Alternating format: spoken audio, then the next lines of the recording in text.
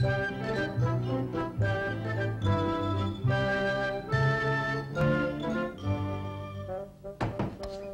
you, Jim. Ladies and gentlemen, uh, this I wanted to keep for myself. But, according to law, everything here must go up for bidding. This magnificent old seaman's chest, genuine teakwood, with real brass fittings all around. Left unclaimed by some unknown seafarer. What's in it, Mr. Auctioneer? Dennis. Who knows, my boy? But that's a very good question. I like a curious boy. After all, if Columbus hadn't been curious, America would never have been discovered. Folks, there is no key to this chest, therefore the contents are unknown. Now, we can start the bidding for the low storage charge, $18. I'll bid $18. I have $18. Do I hear 20? Do I hear 20? Oh, come, come, ladies and gentlemen. Who knows what this fabulous treasure chest may contain? Pearls from the Orient, Spanish doubloons, a fortune in spices, a king's ransom in rubies. Jeepers, Mr. Wilson. That's really something. You may be right, Dennis. Uh, $20. I have $20. Do I hear 25? $25. It may be full of silver. $30. $30 has been bid. $35. Or maybe full of gold. $40. $40. Or maybe even diamonds. $50. $50 going once, $50 going twice, and sold for $50 to that adventurous soul down there wearing the purple tie. Would you see the cashier, please? Hey, Mr. Wilson, why did you bid $50 when nobody raised your $40? What? oh, good grief.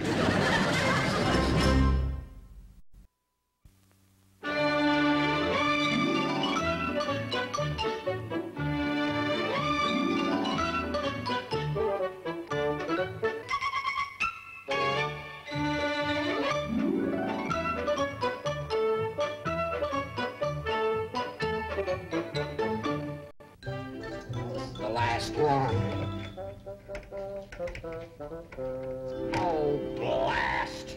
These keys don't fit either. George, you've been trying to open that chest all afternoon. Well, Martha, I've got to know what's in it. Did you get the chest open yet? No, he hasn't, Dennis. Jeepers, I brought Tommy over to see the treasure. I'm afraid we're just going to have to go after it with a hammer and chisel, Mr. Wilson. Oh, no, Mitchell. I couldn't spoil a genuine teakwood chest. No, I'll have to call a locksmith. It'll cost me $10, but it'll be well worth it. Well, you'll just have to call him tomorrow, dear. We're already late for the Timberlakes. Oh, all right, Martha. I guess I can wait another day to find out I'm a millionaire. Thanks for your keys, Mitchell. Sorry they weren't any help, Mr. Wilson. Oh, Dennis, uh, come on home soon. Dinner's almost ready. Okay, Dad. Boy, this is some chest, isn't it, Tommy? Yeah, but what good is it if you can't get it open? It's too bad my mom wasn't here instead of my dad. She can open anything with a hairpin. And I got a piece of wire. Here it is. Boy, if we could open the chest with this, it sure would help Mr. Wilson. Save him ten bucks. Come on, let's try it. How does your mom do it, Dennis? Well, she sticks the hairpin in the keyhole and jiggles it around like this.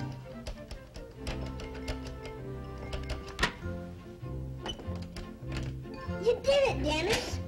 Wow, look at all this swell stuff. Boy, I bet this belonged to an old sea captain. A spyglass. This is what pirates used to look for ships to rob. Hey, Dennis, where's all the treasure that's supposed to be in here? I don't know. The pirates probably buried it on some desert island. Hey, we better put all this stuff back. I've got to get home for dinner. Poor old Mr. Wilson. He was expecting to find pearls and rubies and Spanish balloons. Well, see you tomorrow, Tommy. Bye, Dennis.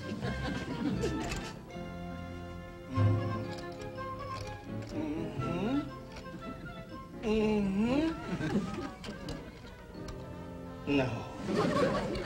Heaven's sakes, Johnny, I thought you were a locksmith. Take it easy, Mr. Wilson. After all, this is a very complicated lock. And besides, it's rusted. Probably from the salt water. Oh, Fiddle faddle, my mother could have opened that with a hairpin. Yes? I think I got it. Oh, That is. Oh, I'll do that. What's in there? Uh, never mind what's in there. Here's your money. Goodbye. Okay. Okay. Okay. Happy treasure hunt. Wonder if I'll have to report this loot to the Internal Revenue Department. Hi, Mr. Wilson! Oh, for heaven's sakes, now look what you've done. It's locked again. I'll have to get Johnny back. Johnny! Wait, Mr. Wilson, I can open it. Here it is. Johnny! Come back here! Wait! Oh, blast, he got away.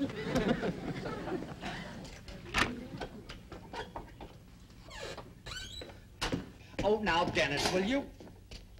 Well, how did this get open? I opened it, Mr. Wilson, with this. You opened it with that piece of wire? Sure. You see, I didn't have a hairpin. hairpin. And I just gave Johnny... Oh, great Scott. Oh, oh well. Let's see what's in here. What's this? Oh, good grief. Why, there's nothing in here but junk. I wouldn't call it junk, Mr. Wilson. You can have a lot of fun with this stuff playing pirates. Well, I could have a lot of fun with the $50 it cost me, too. Do you mind if Tommy and I play with it? Oh, no, I, I don't care what you do with it. Oh.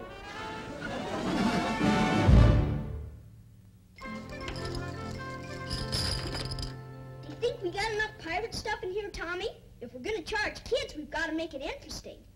I forgot the starfish. That's interesting. Hey, I know what we ought to put in. A map showing where buried treasure is. What buried treasure? Any buried treasure. Everybody knows pirates buried their treasure way out on some desert island. That's a keen idea, Dennis. But where are we gonna get this treasure map? We'll make one. Here, we'll draw it on this old piece of paper.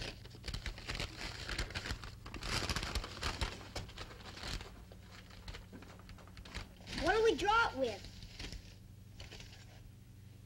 Here. We'll do it with a piece of good old Mr. Wilson's barbecue charcoal. Good thinking, Dennis. Pirate Dennis. Okay, Pirate Dennis. And remember, I'm Captain Kidd. Okay, now I'll draw a desert island. Have you ever seen a desert island? No. The other kids haven't either. Good thinking. Now, here's where the boat lands with the treasure. And that's where we bury it? No, we've got to make it hard to find. Good thinking. We make about a hundred steps till we come to a tree. What kind of a tree? Oh, a cherry tree. Then we climb the tree and look through the spyglass until we see a rock. And that'll be Dead Man's Rock. Boy, that's neat. Then we climb the rock and look through the spyglass until we see a cave. How far is the cave? Oh, about two miles. And that's where the treasure's buried. I'll mark it with an X. Shouldn't the island have a name? Good thinking, Captain Kidd. Do you know any islands? Hmm, How about Coney Island? Heck, that's too full of people. During the war, my pop was on a Marshall Island. That's way out in the Pacific Ocean. Good thinking. How do you spell Marshall Island? I think it's M-A-R-S-H. That's enough. R-S-H. There. Let me see it. Oh, Ow! Jeez, what happened, Tommy? I cut myself on that sharp edge. Boy, it sure is bleeding. Doesn't hurt much. Boy, that sure is a keen map, Dennis. Looks real as anything. Watch it, Tommy. You're getting blood on it.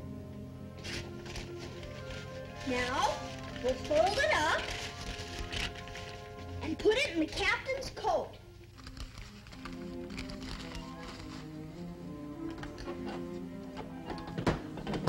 Now, we're ready for business.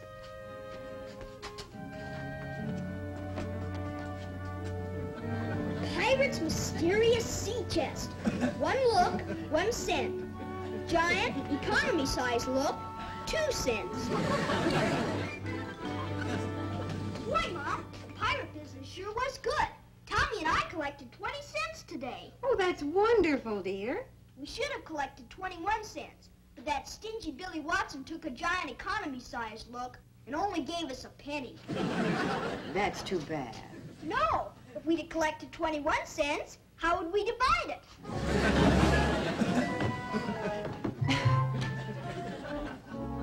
Mr. Wilson, it's me, Buzz. Oh, yes, Buzz, right in here. Mrs. Wilson said you had something to go. Indeed I do, this old seaman's chest. it looks like a bunch of junk. Oh, there's some odds and ends here that maybe somebody will have use for. This is a good heavy jacket. Did you check the pockets? Oh, there wouldn't be anything in these pockets. Maybe some old hardtack or barnacles or... Wait a minute, what's this? Just, an old map showing some buried treasure. Did you say buried treasure? Where is the buried treasure? Uh, uh, who said anything about buried treasure? You must be imagining things, Buzz. Now, look, I, I think you better go. Well, what about the old chest? No, don't uh, touch a thing. I've changed my mind. Now, I think you better be going. Now, But Mrs. Wilson Never said... mind what Mrs. Wilson said.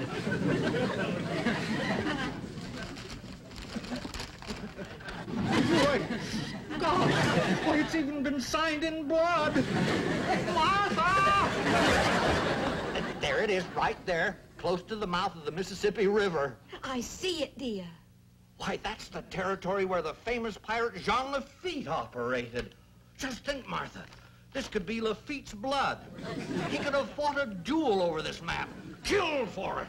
George, must you be so gruesome? It's true, my dear. When men are on the trail of buried treasure, they stop at nothing. They turn to beasts. Oh, stop it, George. You look like Boris Karloff. Oh, I do? Oh, well, I'm sorry, Martha. I didn't mean to frighten you. George, don't you think you ought to take this map somewhere and have it checked up to see if it's authentic? You mean show this map to someone else? I should not on your life. Martha, we are going to Marsh Island. It'll be a nice trip. I know we'll make it a sort of second honeymoon. Martha, wouldn't it be fun to dig for buried treasure on our second honeymoon? On our first honeymoon, you said I was the only treasure you'd ever want. Well, that was before I found this map. Uh, oh, I mean, but, uh, oh, I'm so excited I don't know what I mean. Better get you your nerve medicine. Oh, never mind. This map is, is all the nerve medicine I need. Uh, well, it wouldn't be an expensive trip. It's not like going to the ends of the earth.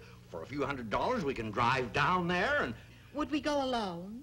Well, of course, you don't think I'm going to let anyone else in on this, do you? No, we're not sharing this treasure with anybody. But I've heard that part of Louisiana's full of swamps and poisonous snakes and alligators. Oh, well, maybe we should share this with some of our friends. Henry, a hundred dollars is a lot of money. Oh, now, Alice. Why, that's chicken feed in comparison with what we may find. Well, Mr. Wilson, even if there was such a treasure, how can you be sure it's still there? Alice, you sound just like Martha. Well, uh, if somebody had discovered the treasure, would the map still be around? That makes sense. Oh, believe me, I'm not letting just anybody in on this deal. Only my closest friends. now, I figure, with, say, five of us, it would only cost us a $100 apiece. That much? Oh, come, Maurice, come. What's a $100 nowadays? Okay, Mr. Wilson. I think I can raise a hundred dollars. oh, now you're talking. Let's see now. New picture tube, fifty-five dollars. Transformer, ten dollars. And labor charge, thirty-five dollars. There's my hundred. A hundred dollar repair bill. Are you out of your mind? on now, Mr. Wilson. Like you said, what's a hundred dollars nowadays? Oh, for Pete's sake. All right, folks, step a little closer for a look at the famous old pirate's chest. Who can tell what fabulous treasures this chest contains? Perhaps pearls of the Orient and Spanish balloons. Balloons? Yeah, balloons. Do you by any chance mean cent, you can find out, Margaret. That's all it takes, folks. Just one cent to see what's inside this fabulous sea chest. Well, It's right in here, Mr. Timberlake. Oh, Dennis, what are you doing here? hi, Mr. Wilson. Hi, Mr. Timberlake. We're having a showing of your pirate's chest. Well, Dennis, I'm sorry to interrupt your play, but Mr. Timberlake and I have some confidential business to discuss. So run along, all of you. Mr. Wilson, you're costing us money. The kids are going to pay us a penny to see what's inside. Maybe two cents. Oh, well, here. Here's a quarter. Business is over for the day. Now, shoo, scram, everybody. Oh, boy, thanks, Mr. Wilson. Come on, guys. We'll let you look at the pirate's chest tomorrow. Well, there it is. oh, little do they know the treasure I found in here, right in the pocket of this uniform. My, oh, my, oh, my. You're quite sure the map's authentic? Oh, it has to be. Why, the paper is centuries old and it's signed in blood and everything. I can hardly wait to see it. Well, of course, I'm not showing the map to anyone who doesn't join our expedition to Marsh Island. Oh, George, I've always wanted to study the bird life in the Louisiana swamps. Mr. Timberlake, you're just the man I'm looking for. I understand there's some very rare specimens in that region. For instance, that night warbler, the nocturnal swallowtail snapdiver. This expedition was just made to order for you. Why, you can dig for treasure by day and look for the snap diver at night. Oh, I'm getting goose pimples all over. Count me in, George, count me in. Splendid.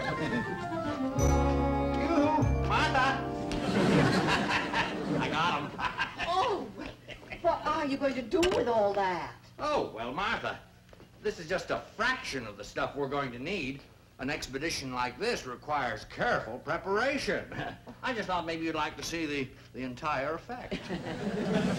George, I have a feeling something's going to happen on this trip. well, of course something's going to happen, my dear. We're going to find the buried treasure. Are you sure you won't come with us? No, dear, I'd be out of place.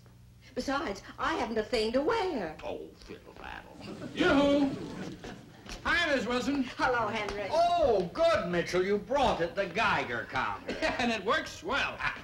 Martha, this will help solve any difficulty we may have in locating the hidden treasure.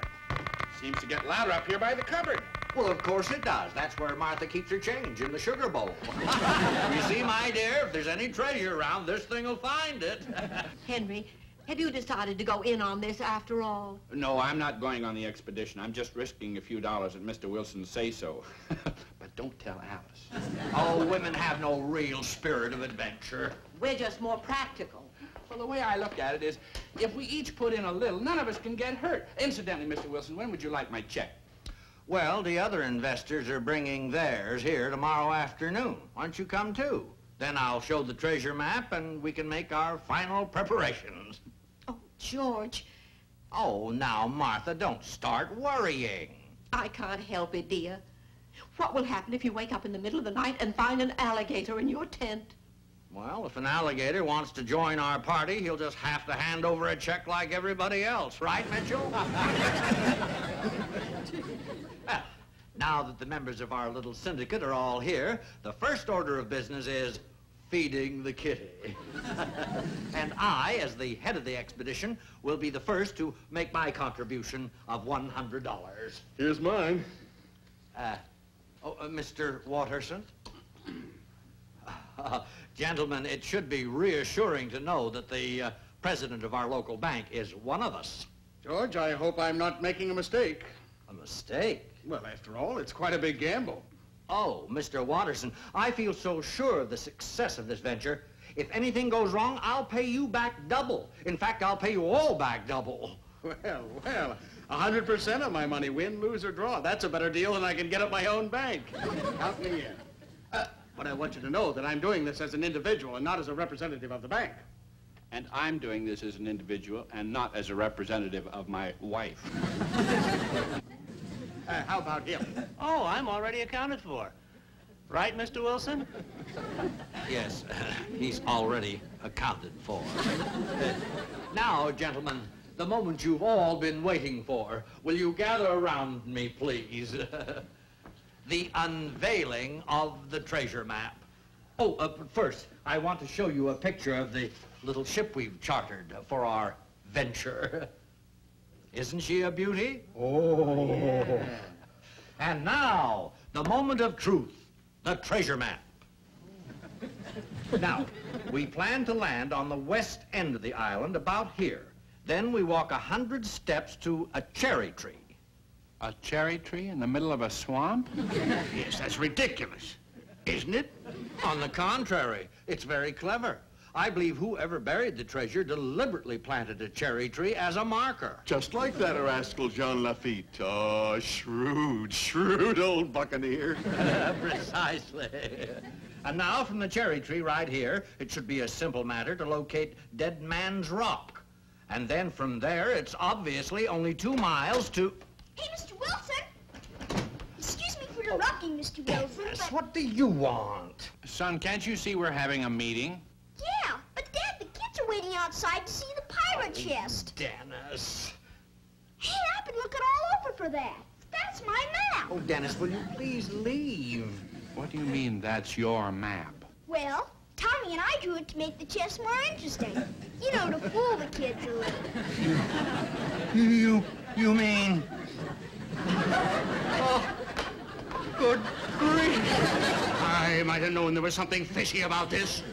Wilson, you can send my $100 profit to me at the bank. Of all things, George, you are so incredibly gullible. You can send my $100 profit to the Lookout Mountain Bird Sanctuary. I already made my profit on you, Mr. Wilson. But I'm taking back my picture tube. No. No.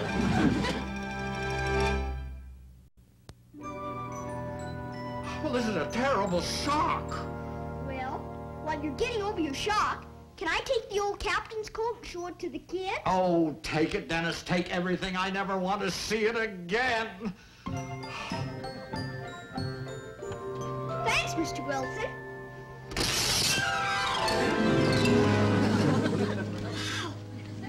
Look at all the money! Oh, look, Mr. Wilson. Why, you found a treasure after all. Why, for heaven's sakes, where did this come from? You fell out of this old coat. Why, there's lots more money in here, too. Why, look at this. Old-fashioned currency. Why, there's enough here to pay off everybody I owe and, and more besides. well, for heaven's sake.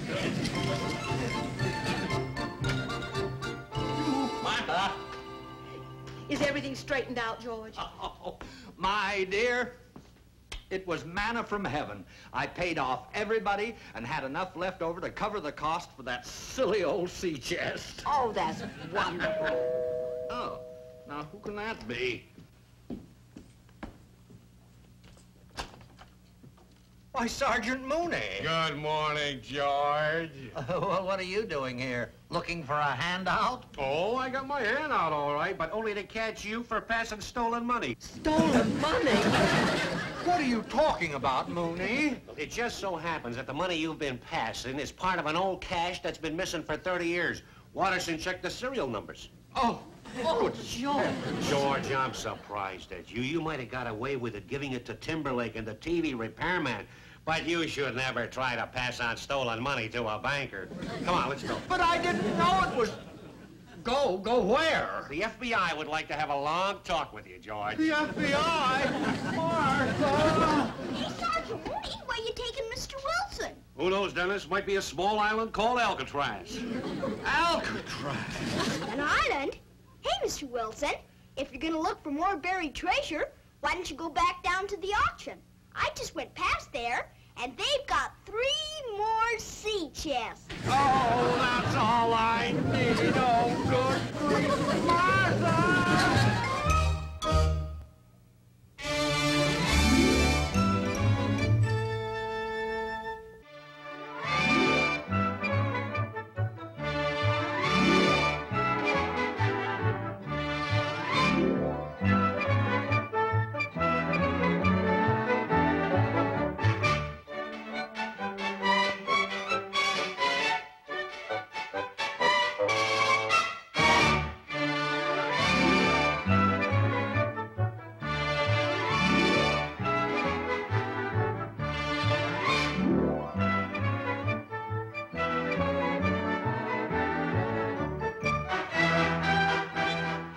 Has been a Screen Gems film production from the Hollywood studios of Columbia Pictures.